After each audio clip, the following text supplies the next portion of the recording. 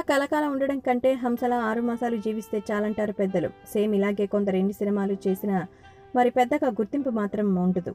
అలాగే కొందరు చేసినవి తక్కువ సినిమాలైనా జనాల హృదయాలు నిలిచిపోతారు. సినిమాలో ఇలా వచ్చి అలా మెరిసి వెళ్ళిపోతారు. అలాంటి హీరోయిన్స్లో గోపిక ఒకరు. తాజాగా ఆమె సోషల్ మీడియాలో షేర్ చేసిన పిక్చర్ బాగా వైరల్ అయింది. ఇంతకీ ఆ ఫోటో కథ ఏంటో తెలుసుకుందాం. ఎలాంటి సినిమా బ్యాక్గ్రౌండ్ లేకుండా సినిమాలకు వచ్చింది గోపిక? పలు చక్కని సినిమాలు చేస్తూ జనాలకు మరింత చేరువైంది. కేరళలో పుట్టి పెరిగిన ఈ ముద్దుగుమ్మ డిగ్రీ చదివే రోజుల్లోనే హీరోయిన్కి అవకాశాలు వచ్చాయి దీంతో తన సినిమా రంగంలోకి అడుగుపెట్టింది. జయసూర్య వినీత్తో కలిసి తొలి సినిమా చేసింది. కానీ ఆ సినిమా హిట్ కాలేదు. కానీ తనకు మంచి గుర్తింపు వచ్చింది తర్వాత ఫర్ ద పీపుల్ మూవీ చేసి సూపర్ డూపర్ హిట్ సాధించింది. తెలుగులో రవిచేతతో తొలి సినిమా చేసింది. నాటోగ్రాఫ్ మూవీతో తెలుగులోకి అడుగుపెట్టింది. ఈ సినిమాలతో తెలుగుతో ఎంతో అభిమానులకు దగ్గరైంది. అనంతరం లేత మనసులు ముద్దుల కొడుకు వీడి మామూలు కాదోయ్ అలాగే సహా చాలా సినిమాలు చేసింది. తమిళంలో మలయాళంలో కన్నడలో హీరోయిన్గా మంచి క్రేజ్ సంపాదించింది.